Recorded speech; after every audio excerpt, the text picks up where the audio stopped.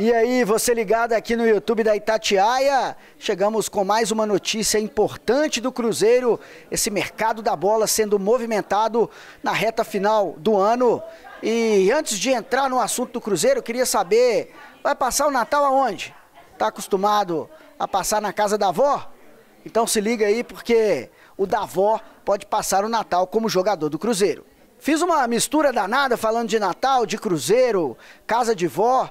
Aí muita gente perguntando: "Que isso, Pio? Você ficou doido?" Não, não fiquei doido não, é só uma brincadeira para introduzir aqui a notícia relacionada à possibilidade de Matheus Davó, atacante de 23 anos, vestir a camisa do Cruzeiro na temporada de 2023. O Matheus Davó que pertence ao Corinthians, mas esteve emprestado ao Bahia durante a Série B do Campeonato Brasileiro deste ano, marcou nove gols com a camisa do tricolor de aço na segunda divisão de 2022 e ainda deu quatro assistências teve uma boa performance jogando pelo clube de Salvador. O Cruzeiro já abriu conversas com o empresário do atleta e também com o Corinthians e a possibilidade é de que essa negociação aconteça e o Cruzeiro divulgue aí nos próximos dias a chegada de Matheus Davó. Olhando pelos bastidores, colhendo algumas informações, foi possível entender que essa negociação do Cruzeiro com o Matheus Davó tem similaridades com aquela que o Cruzeiro também faz pelo Matheus Vital, dois jogadores do Corinthians que viriam para o Cruzeiro sem o Cruzeiro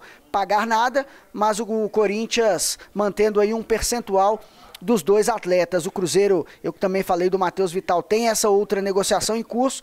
Pode em breve aí então começar a anunciar pacotes de contratação. O Cruzeiro que se movimenta pensando já no ano de 2023. A apresentação do Clube Celeste para a temporada do ano que vem acontece no dia 14 de dezembro, tá chegando. Cruzeiro que entrou de férias aí no dia 7 de novembro e esticou as férias dos atletas por mais uma semana. Então, a partir do dia 14, semana que vem, os atletas atletas do Cruzeiro se apresentando já para os exames médicos visando aí o ano de 2023. Cruzeiro que retornou à Série A e vai disputar então esse campeonato importante e precisa, claro, de reforços. Esse vídeo especificamente é para falar do Matheus Davó, citei aí o Matheus Vital e o Cruzeiro também com uma negociação para saída de jogador. Um outro vídeo que também está aqui no YouTube da Itatiaia, saída já praticamente sacramentada aí do lateral Giovanni Jesus, ele que surgiu como zagueiro, chegou à categoria de base do Cruzeiro jogando como zagueiro, mas atuou com Paulo Pesolano na Série B,